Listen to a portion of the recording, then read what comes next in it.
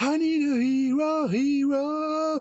I'm calling for a hero till the end of the night. Do do do do. It's gonna be strong and it's gonna be fast and it's gonna be fresh on the fight. Salut messieurs, mesdames, personnes non binaires. Voilà, un petit euh, live matinal euh, eh bien pour euh, te parler d'un sujet brûlant euh, qui s'appelle Orio, euh, le jeu de rôle centré sur le personnage. Voilà, en fait, j'ai l'impression, si tu veux, que... Alors, Bobois, est-ce que tu as, tu as l'impression d'être le héros de ta propre histoire?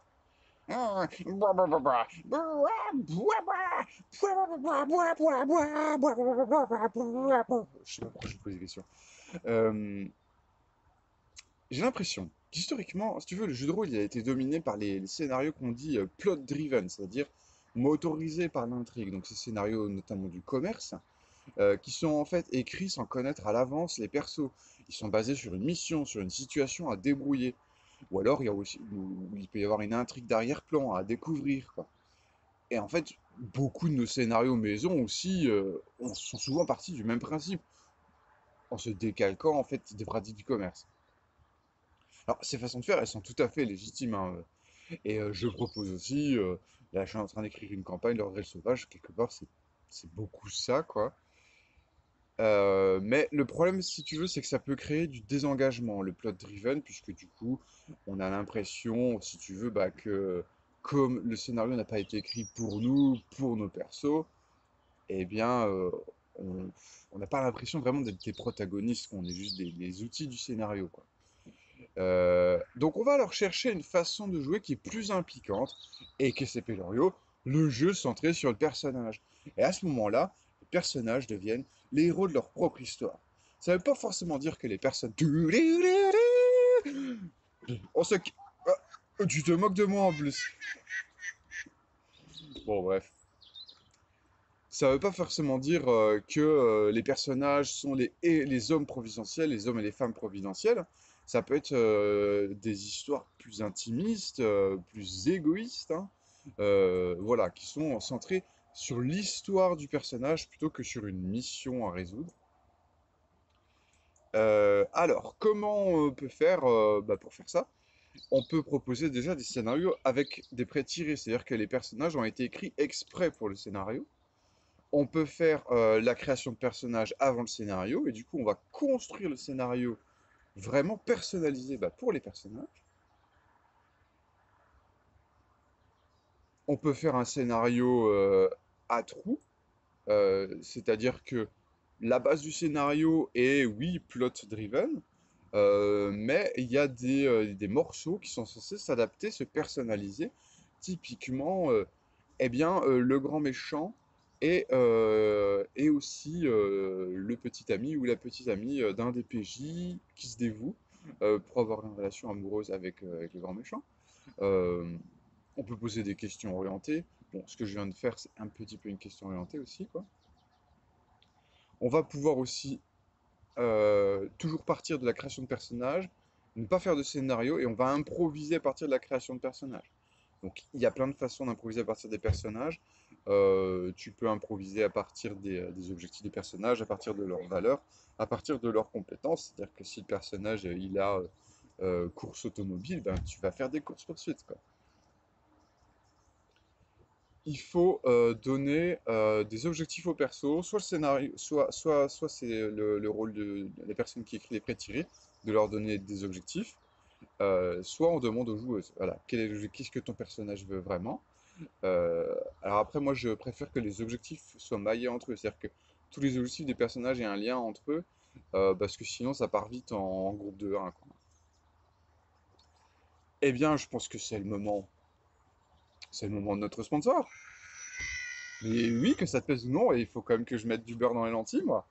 Euh, donc, aujourd'hui, je vais te parler de Rollistopia, une ville entièrement construite par et pour des rôlistes. Oui, je sais, des rôlistes, on a trouvé des rôlistes qui faisaient du BTP, c'est extraordinaire. Et donc, Rollistopia, voilà, c'est une, une ville où tu vas te réfugier, parce que bien sûr, en tant que rôliste, tu te sens pas à ta place dans le, le monde ordinaire, quoi. Et donc, euh, ça va être un véritable havre de paix pour toi, entièrement dédié à ta passion. Donc il y a plein de magasins de dés, euh, de magasins d'écrans, euh, euh, bah, il y a des conventions tous les week-ends. euh, et euh, bah, des associations de jeux de rôle avec des subventions. Et, et voilà, il y a, y y a toute la vie organisée autour du jeu de rôle. Il y a plein de groupes de musique, essentiellement du dark ambient, hein, on va pas te, le cacher. Voilà. Donc, si toi aussi tu veux avoir accès à l'adresse euh, secrète de Rollistopia, eh bien, envoie-moi euh, 100 euros euh, par virement bancaire euh, et je te la donnerai euh, sans problème. Euh, voilà. Merci beaucoup à Rollistopia de sponsoriser cette vidéo. Et tout de suite, on revient donc au jeu de rôle centré sur le personnage avec une petite liste de bonnes pratiques. Donc déjà, moi, je te je dirais qu'il faut élaguer tout ce qui concerne pas un personnage euh, au premier plan, quoi. Donc voilà, tout ce qui est intrigue secondaire liée à des PNJ, tout ça. Voilà, on s'intéresse aux personnages de premier plan. Euh, ou alors, tu peux faire ce que j'appelle les techniques de fusion. Ça, c'est une technique d'impro pour adapter ton scénario au personnage. Euh, l'exemple que je donne souvent, c'est dans un scénario, j'avais un, gentil cannibale. C'est-à-dire, il, il- était gentil, il était cannibale parce qu'il avait un virus, tu vois. Donc, c'était pas de sa faute, quoi. Euh, il le faisait de façon inconsciente. Ça, c'est un PNJ, voilà, du scénario que tu pouvais rencontrer. Et j'avais un joueur, euh, son personnage, il entendait, il entendait la voix de, de, la, femme qu'il aimait, en fait, qu'il avait jamais vue, hein, mais euh, qui lui parlait, qui lui disait d'aller le chercher, tout ça. Donc, il, parcourait la forêt à sa recherche. Et en fait, ce que j'ai fait, c'est en improvisant pendant la partie, j'ai fusionné. C'est-à-dire que mon gentil cannibale est devenu une gentille cannibale, parce que en fait, son genre n'avait aucune importance.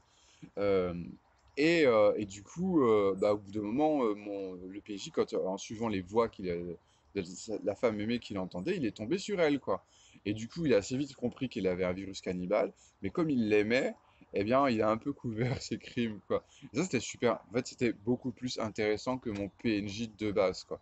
Parce que c'était, lié au personnage. Donc, technique de fusion, je te recommande.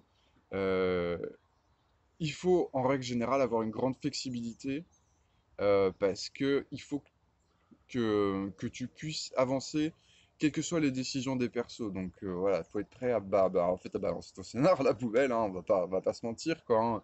Euh, pour t'adapter à une décision des personnages, faut les laisser assez libres.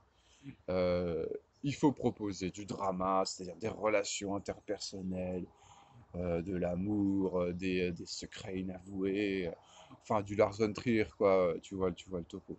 euh, je vais pas citer Lars Trier parce que c'est quand même pas le plus recommandable des personnages, mais voilà, du, du festen, quoi, enfin il faut, euh, euh, il faut un peu de drame, euh, ça, ça, ça marche très, très bien dans le, dans le jeu centré sur le personnage. Alors, on va finir avec une petite liste de, de jeux qui pourraient t'aider à faire du, du jeu centré par les personnages. Bon, il y a Apocalypse World, ça me paraît incontournable. Euh, et évidemment, euh, euh, pas mal de, du coup, par effet de ricochet, pas mal de PBTA sont également character-centered. Je citerai notamment Dream Muscu. Il y a certains PBTA qui sont pas trop character-centered. Par exemple, Monster of the Week. Pour moi, ça fait très jeu à mission, limite, il y a presque un scénario et tout. C'est pas. Voilà, j'appellerais pas ça. euh, Enfin, c'est quand même plus plot-driven. Euh, parmi les jeux de ma modeste pomme, tu vas trouver une Forenza qui a été totalement construit sur le principe du jeu, sur le centré sur le personnage. Ah, C'est-à-dire que la checklist de ce que je t'ai dit dans la vidéo, tout est dans une Forenza, quoi. Euh, ça fait vraiment, vraiment ça. Et puis, il y a les Centres, le jeu de rôle slash GN, où c'est tellement character-centered qu'il n'y a pas de PNJ. De toute façon, l'intrigue, c'est que du drama entre les personnages. Donc euh, voilà, et sachant qu'il n'y a pas de PNJ, euh, qu'il n'y a pas vraiment de décor, euh, ça peut être que centré sur le personnage. Alors, euh, tu me connais, je suis une personne de nuance, donc on va quand même dire aussi un peu les points négatifs de cette pratique. Quel est le carnet noir du jeu de rôle centré vers le personnage? Eh bien, d'abord, ça repose quand même beaucoup sur, sur l'inventivité, à la fois de MJ et des joueuses, parce qu'il y a beaucoup d'adaptation, d'improvisation, et puis un travail de personnalisation qui, des personnages, on te demande pas, pas toujours d'habitude, quoi. Euh, il faut que les joueuses soient proactives, parce que leurs personnages ont des objectifs, donc il s'agirait qu'elles se bougent le cul.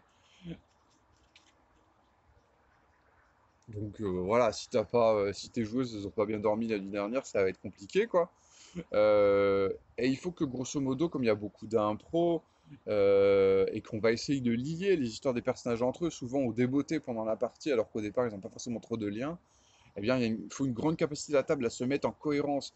Et bon, voilà, glo- globalement, je me répète, mais c'est gourmand en impro, et voilà, l'impro, c'est du taf que tout le monde aime pas faire, donc euh, il n'y a pas de souci de temps en temps de retourner à un bon vieux scénario plot driven. Là-dessus, je te fais des bisous. Le mot de la fin, c'est Boba qui l'a.